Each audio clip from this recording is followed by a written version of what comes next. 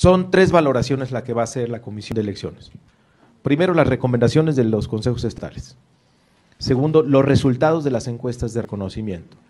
Y tercero, la valoración política de todos y cada uno de los perfiles, para definir quiénes van a la encuesta final. Las propuestas de los consejos estatales se hicieron de manera muy responsable. Obviamente siempre hay más perfiles que se quisieran proponer, pero la convocatoria señalaba dos hombres y dos mujeres. Si hay algún perfil eh, que tiene mucho conocimiento, pues va a salir muy bien en la encuesta de conocimiento. Entonces, obviamente, la Comisión de Elecciones pues va a incluir a ese perfil en la encuesta porque queremos ganar las elecciones. Entonces, se tienen que buscar perfiles competitivos. En el caso de Puebla, eh, eligieron el consejo a eh, Huerta, Julio Huerta, y eligió también a Nacho Mier.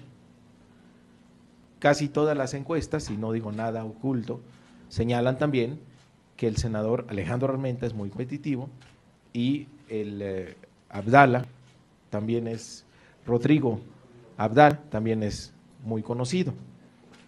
Y en el caso de las mujeres, el Consejo propuso a Olivia eh, Salomón y a Lisette Sánchez, que es del Partido del Trabajo, pero que ha colaborado en el gobierno de Puebla y es también muy reconocida.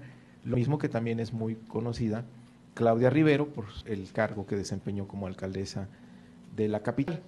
Entonces ahí habrá una combinación para valorar tanto lo que viene del Consejo como los resultados de las encuestas y es lo que va a definir la Comisión de Elecciones.